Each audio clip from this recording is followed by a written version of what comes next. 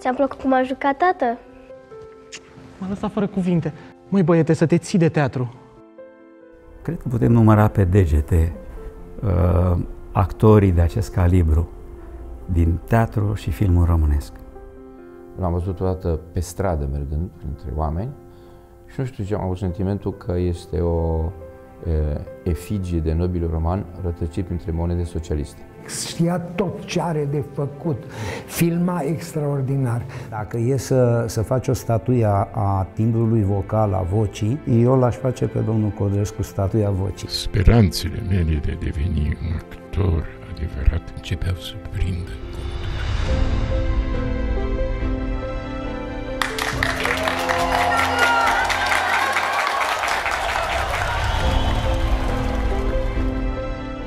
Domnul Codrescu era actor, un actor talentat, foarte talentat, recunoscut de toată lumea. Și într-o zi a venit uh, căderea. Pur și simplu a fost dat afară din toate teatrele cu amendamentul că să nu fie angajat niciodată. Domnule Codrescu, nu puteți intra în teatru.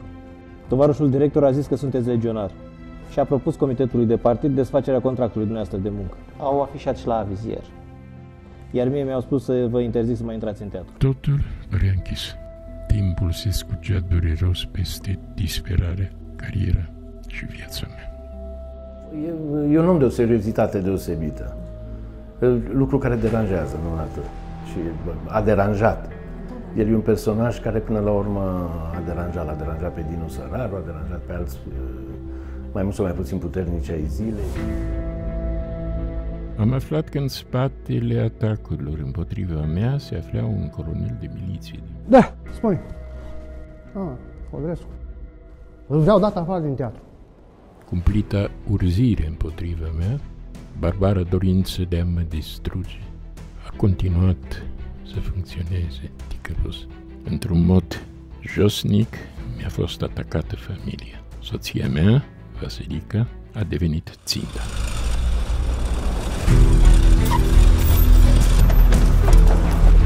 Tovarșa! Vă rog, urcați! De ce? Ce s-a întâmplat? Mișcă! Dați-mi drumul! Gura! De ce? Dați-mi drumul! Dați-mi drumul! Gura, mișcă!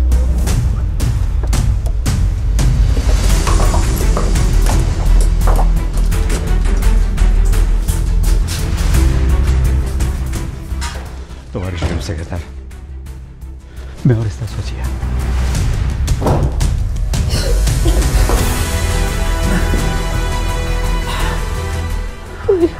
Puiule, mi-e frică. Și dacă îmi răpesc copiii?